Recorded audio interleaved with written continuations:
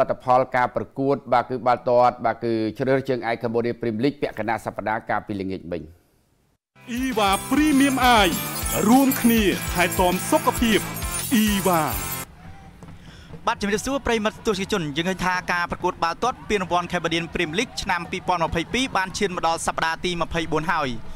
សម្រាប់ក្រុមស្ថិតនៅក្នុងតំណែង Top 4ហើយការពីរសៀលថ្ងៃទី16ខែវិច្ឆិកាឆ្នាំ2022នេះនៅឯកីឡាដ្ឋាន Cambodia Airway ក្រុមបង្កេតបានរងបរាជ័យនៅក្នុងដីរបស់ខ្លួនពីសំណាក់ក្រុមភ្ញៀវវិសាខាក្នុងលទ្ធផល1ទល់នឹង2ដោយមួយគ្រាប់របស់បង្កេតរកបានដោយកីឡាករសៀងចន្ទធាននៅនាទីទី63និងពីរគ្រាប់របស់វិសាខារកបានដោយកីឡាករពាក់អាវលេខ94 Follow Victor នៅនាទីទី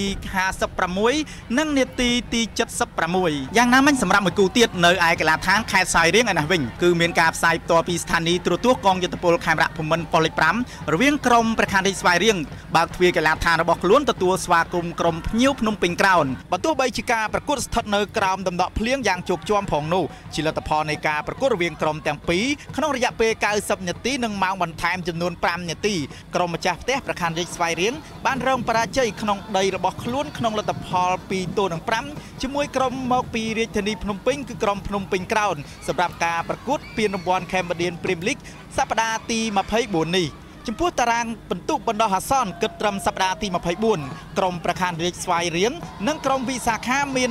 46បន្ទុកដូចគ្នាខណៈក្រុមភ្នំពេញក្រោនមាន43បន្ទុកនិងក្រុមបង្កេតនៅតែបន្តរក្សា39បន្ទុករបស់ខ្លួនដដែល